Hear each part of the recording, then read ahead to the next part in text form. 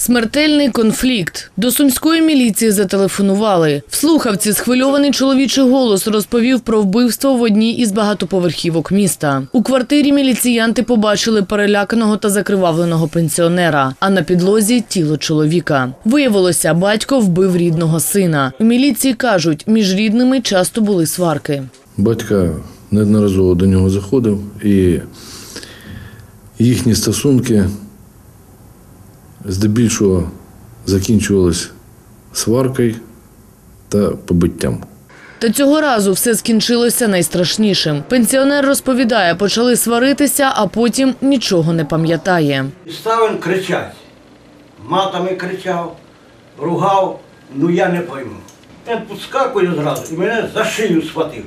Охоплений гнівом, літній чоловік схопив ножа і вдарив сина в груди. Молодий чоловік стікав кров'ю і благав про допомогу, але батька немов паралізувало. Більше я не пам'ятаю. Тільки отак мені в глазах з'являється, як я хватаю його нож. Правоохоронці кажуть, обидва чоловіка були тверезими, але лють взяла гору. Міліція затримала чоловіка. За вбивство сина йому загрожує до 15 років в'язниці.